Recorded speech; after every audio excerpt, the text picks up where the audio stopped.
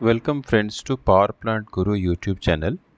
Friends, I am a mechanical engineer with around 20 years of experience in the field of power plant and I used to create small fundamental knowledge series videos for power plant engineers. We also run doubt clearing sessions on weekends. So if you want to reach us, you can reach us through comment section and join our weekend classes. Let us continue to watch our today's video. Hey, hi friends. Uh, welcome to our new video on uh, gas turbine torque converters. I was receiving few requests uh, on a video for torque converter and uh, this seems to be a interesting uh, uh, topic for our viewers. So here is one small video on torque converters on the basic fundamentals. And for detail definitely you can reach out through comment section and try to answer uh, to those questions. So torque converter is a you know uh, a device which is used in a gas turbine uh, for these functions like uh, smooth acceleration and the important thing is stepless acceleration. Like if you have any you know gearbox or something uh, that kind of mechanical device which will not be that smooth and it will have steps which may be something uh, uh, which is not essential for having a you know combustion smooth combustion process uh, or uh, in acceleration phase while you know combustion starts and uh, engine starts accelerating so that is where you know smoothless and stepless uh, hydraulic drive makes it a perfect fit that is why it is used in the gas turbine. And then you have uh, torque multiplication through oil uh, flow quantities changing, which is essentially required to uh, different uh, you know, quantum of torques required in different uh, uh, stage of or status of gas turbine operation. And then there is a last phase where is decoupling when the turbine reaches the self-sustaining speed and then it accelerates and parts over from the clutch and then you have your uh, gear uh, torque converter which is uh, uh not required uh, further in the operation and come down to uh, lowest speeds so uh, here is some uh, uh, image uh, taken from uh, GE gas uh, turbine manual for reference. And then you have your torque converter, which is maybe driven by a diesel engine or maybe a motor as well.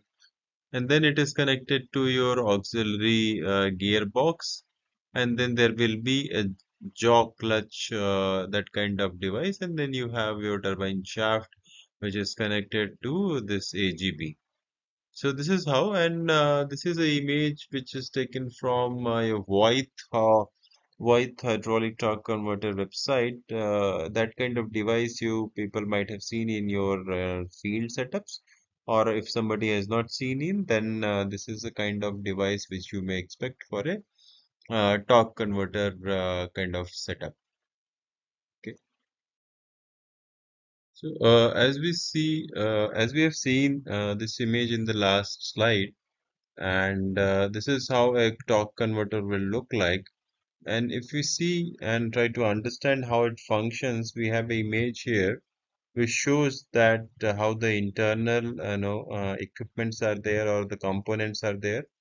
So if you see this left side shaft which is connected to the starting device which may be a diesel engine or maybe electric uh, motor. And then we have uh, uh, the input side of uh, we can say the guide uh, vanes which is adjustable. Adjustable means uh, you don't have to adjust it while you are running the machine in your you know plant or power plant or factory. But this adjustment happens while it comes from the shop according to the load of uh, your uh, gas turbine or the uh, setup uh, in the test bed that guide vanes are adjusted one time and then it is you know set for you know, there is no need to set it up in the plant. So you have a fixed set of uh, guidelines, and then you have a uh, wheel here, which you can call it as an impeller. So once this uh, input shaft start rotating with the in, uh, speed of uh, uh, diesel engine, then that uh, impeller throws that oil on this uh, pump wheel, which is on this side. If you see this this part is the pump wheel on the red side, and then that pump will push that oil into you know turbine wheel, which is on the blue side, and that gives the uh, power to this output shaft.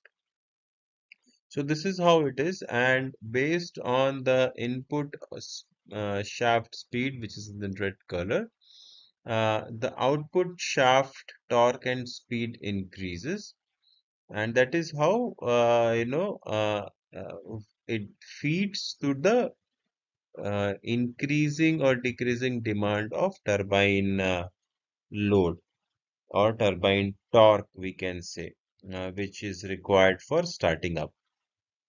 And uh, basically, uh, this is uh, required for a smooth startup so that uh, the turbine uh, air flow, fuel flow, and accordingly the speed which is increasing, that all are in sync, and you have stepless uh, uh, increase in speed, which you know supports your uh, combustion process also to initiate at a small uh, level and then uh, uh, the fuel increases and the airflow increases based on the speed and uh, so on. So that uh, it uh, uh, gives that you know perfect uh, uh, smooth flow to startup and then uh, a sustainable uh, self-sustaining speed so this is how uh, a torque converter function is designed to provide that you know input uh, to the turbine and uh, how it happens uh, uh, uh, inside that box. So this is how uh, a very quick one on uh, gas turbine torque converter. If you have any question uh, you want to ask in detail, you can uh, reach out to us through comment section. We will be happy to answer uh, your doubts. Thank you. Thank you very much for watching our video.